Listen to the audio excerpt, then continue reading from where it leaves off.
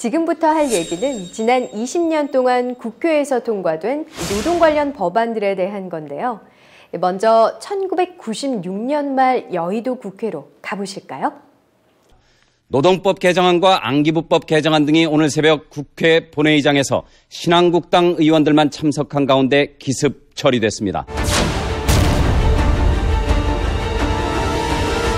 그런데 14년 후인 2010년 1월 1일 새벽 비슷한 일이 또 벌어집니다. 여야 의원들이 단상 주변에서 대치하고 있는 가운데 김용호 국회의장이 노동관계법 개정안을 직권 상정했습니다. 구성이 오가면서 개정 법안에 대한 여야 의원들의 토론이 이어졌습니다.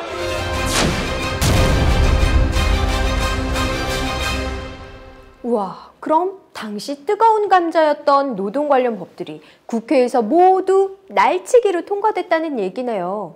여러분, 날치기가 뭔지는 아시죠? 네, 허락 없이 남의 걸 뺏는 걸 날치기라고 하죠. 올해 연말 국회에서 비슷한 광경을 목격하실 수도 있을 것 같습니다.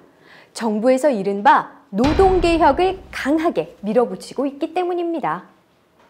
어, 19대 정기 국회가 어, 이번이 금년이 마지막 회입니다. 그리고 어, 노사장 합의가 있었기 때문에 빠른 시간 내에 이 입법 절차를 완료해야 우리 산업 현장에서 노동 현장에서의 혼란을 최소화할 수 있는 거 아니겠습니까? 지난 9월 15일 민주노총을 제외한 노사정이 노동시장 구조 개선을 위한 노사정 합의에 최종 서명한 직후 새누리당이 내놓은 법안을 보면 35세 이상 기간제 노동자의 사용 기간을 2년에서 4년으로 연장하고 파견 업종과 그 대상을 확대한다는 겁니다.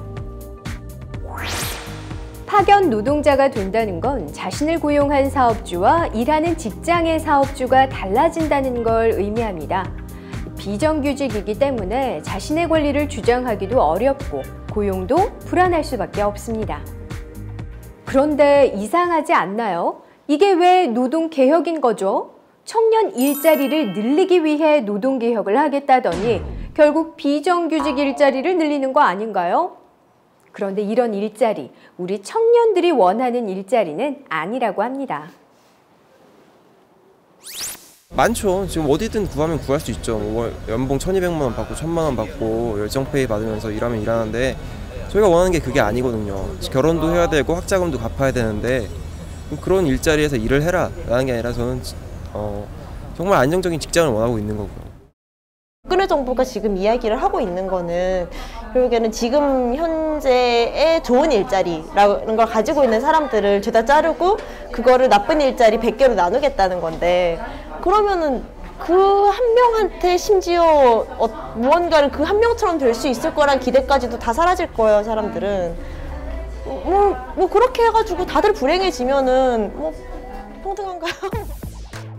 정부는 분명히 좋은 일자리를 많이 만들겠다고 했는데 지금 정부가 하고 있는 건 좋은 일자리 한 개를 나쁜 일자리 여러 개로 쪼개겠다는 거 아닌가요?